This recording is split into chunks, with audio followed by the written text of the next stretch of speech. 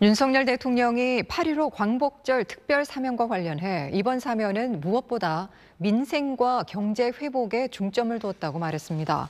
윤 대통령은 출근길 문답에서 사면을 위한 국무회의가 오전 10시부터 시작된다며 이같이 밝혔습니다.